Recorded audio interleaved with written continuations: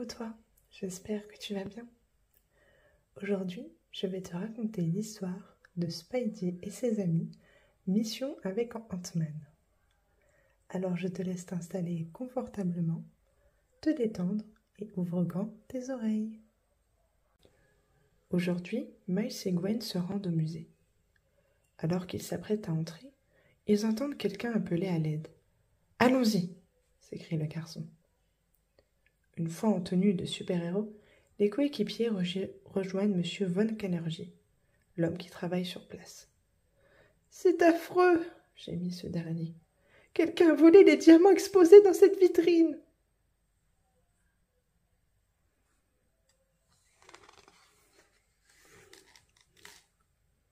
Il montre ensuite au justicier le coussin violet sur lequel reposaient les pierres précieuses.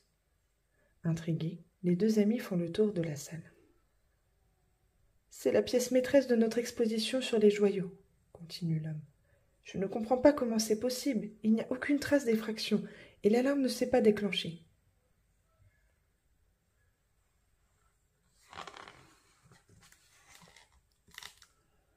Soudain, Miles et Gwen repèrent une pierre précieuse qui se déplace sur le sol.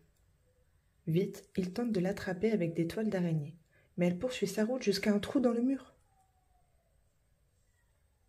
Voilà comment les diamants ont disparu, se désiole M. Van Canargy.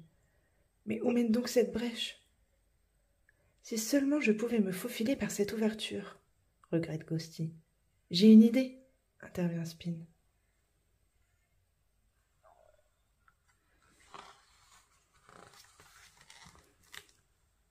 Sans tarder, le jeune héros appelle Ant-Man et la guêpe à la rescousse. Les Avengers sont capables de grandir et de rapetisser à volonté. Quelques minutes plus tard, ils arrivent au musée. Pouvez-vous passer par ce trou? demande Gwen. Oui, mais il fera sombre, s'inquiète la guêpe. Je ne sais pas si nous y verrons grand-chose.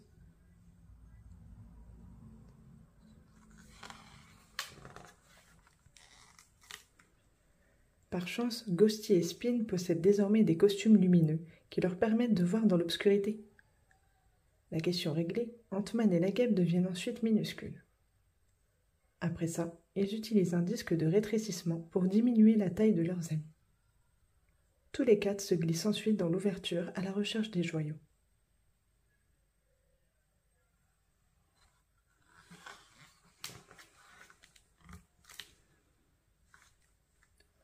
En s'enfonçant dans un tunnel, les coéquipiers croisent la route d'une étrange fourmi. Celle-ci porte un casque et un diamant sur le dos.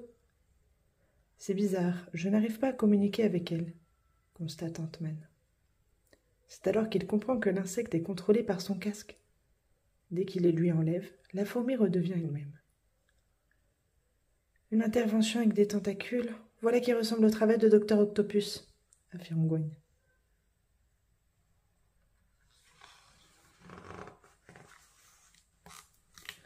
Ant-Man monte alors sur le dos de la fourmi. Conduis-nous jusqu'à la personne qui t'a donné ce casque, lui demande-t-il. En suivant l'insecte, les héros débouchent dans un laboratoire souterrain. Comme l'a deviné Gwen, Docteur Octopus est bien la voleuse de diamants. À l'aide de ses créations, les super-vilaines manipulent les fourmis pour dérober les joyaux.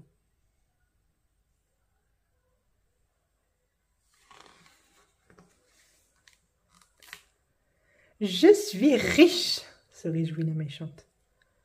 Vite, les justiciers retrouvent leur taille habituelle. Attends un peu, l'arrête la guêpe. Ces pierres précieuses ne t'appartiennent pas. Encore vous s'agace Docteur Octopus.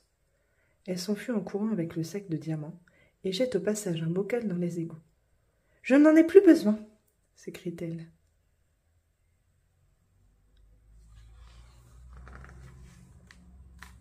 Oh non, elle vient de se débarrasser des fourmis. Heureusement, les héros joignent leurs forces pour repêcher le bocal. Puis Ant-Man libère la petite colonie. Mais il faut encore, mais il faut encore arrêter Docteur Octopus, dont ils ont perdu la trace. Elle mérite une bonne leçon, annonce la guêpe, avant de transformer une des fourmis en un insecte géant.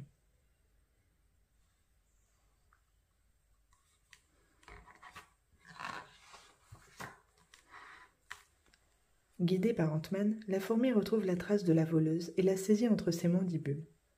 Repose-moi par terre glapit la super vilaine. Tu fais moins la maline maintenant que la fourmi plus grande que toi Rispine. Octopus est neutralisé et Ant-Man remet le sac de diamants à Gwen et Miles.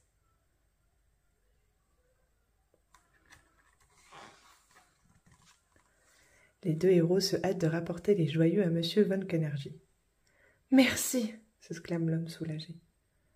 À présent, nous allons enfin pouvoir visiter le musée, conclut Spin. Cette histoire est désormais terminée. J'espère qu'elle t'a plu. Si elle t'a plu, n'hésite pas à me mettre un petit pouce, un petit commentaire et à t'abonner. Moi, je te retrouve très très vite. Au revoir.